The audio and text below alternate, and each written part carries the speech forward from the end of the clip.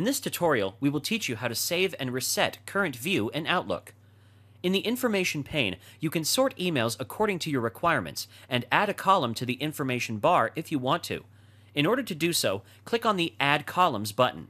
In the Show Columns window, add the column you want to add to the information bar. The view that you just created is temporary. In order to save your current view, click on the Change View button and select the Save Current View as New View button. Give a name to your view and click OK. Click on the Sent Items folder and then click on the Change View icon. Apply the newly created view to the Sent Items folder. To delete the view that you have created, click on the Change View icon and select the Manage Views option. A dialog box will open. Select the view that you created and press the Delete button.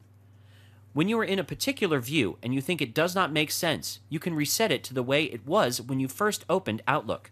To reset a current view, click on the Reset icon in the View tab.